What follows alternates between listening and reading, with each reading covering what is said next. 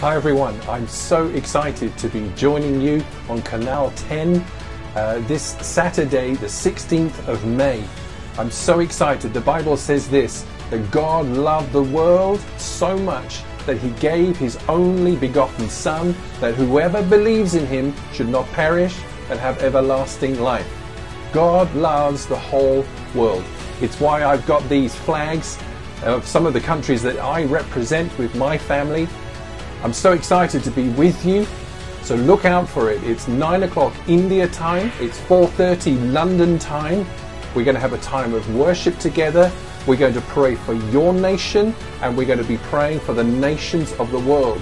That the nations would know the love of Jesus Christ and that the nations would turn to God, especially at this unique time in our history. I look forward to seeing you there.